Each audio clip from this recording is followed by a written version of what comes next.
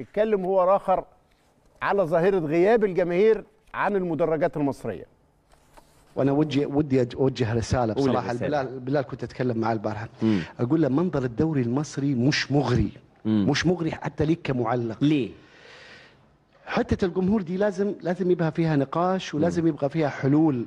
ولا نكون نبحث عن أسهل الحلول بالمنع. آه. المنع ده ده, ده. قرار أعمله أنا وياك. آه. لكن إنك تجد حلول امم جذرية لدخول الجماهير المدرجات لأن هذه هذا شيء ما فيه نقاش. الو- دلوقتي لما أجي أصنف الدوري المصري ما تزعلوش مني ها؟ مش هنزعل خالص. ده كلام مفيد. اللي مسمعين- بيعلمه المسؤولون. طبعا الدوري. السعودي راح حتة بعيدة. آه. الدوري التونسي وضعه أفضل. الدوري المغربي وضعه أس- أفضل. الدوري الإماراتي وضعه أفضل. حتى الدوري القطري وضعه أفضل. يعني دوري يمتلك كل عناصر الجودة الفنية لكن مش نتيجة نظام. نتيجة إن خصائص الشعب بيحب كرة القدم وعنده قدر كبير من الموهبة والشغف. وأندية بتجتهد إنها تصرف عشان وراها جماهيرية. يا صدقني الأندية الجماهيرية الجماهيرية هي اللي مقومة كرة القدم في مصر. طبعا طبعا. لأن هي اللي وراها جماهير بتخليك ما تنامش. أيوه عايز ترضيها. فما تجيش تزود أعبائها.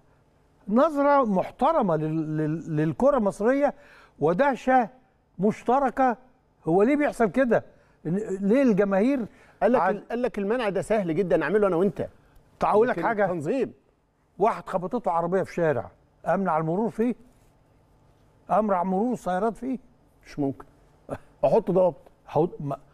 أعمل إشارات أعمل كباري أعمل أعمل مطبات. آه، آه، خطوط أعمل زي الناس كلها بره. ما تنزلش. من على الرصيف إلا لما تاخد ال- ال- الضوء بتاع ال- ال- العبور المشاة. آه. الدنيا خلاص تتظبط. واللي ينزل يبقى غلطان ومالوش ديه يعني لو مأمن على لو أنت مأمن على نفسك وتتخبط بره الخطوط دي أو في غير الإشارة اللي بتقول لك عدي ما تاخدش التأمين بتاعك. مم.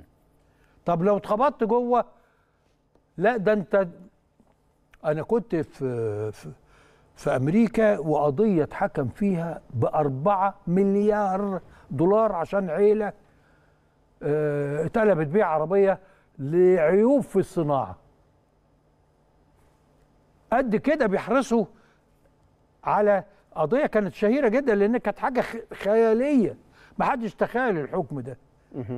وأنا من هنا مش غ... مش بغلط. لا ده هو كان كده. وقالوا إن عيب الصناعة دي يعني كان ممكن يهدد مئات الآلاف من الأرواح لأن ده عيب في الصناعة. هي جت دي كشفت الموضوع. فأنا عايز أقول ال- ال- ال- العدالة العدالة في النظام بتحقق الإطمئنان وتحقق الالتزام بالنظام. طبعا.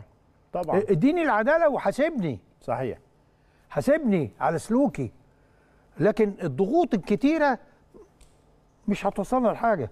وفي الآخر هنقعد نتساءل كيف يفقد المنتخب جمهوره؟ كيف يفقد المنتخب جمهوره في الوقت اللي كان في قبضة ملوك الزمان؟ بعد الفاصل.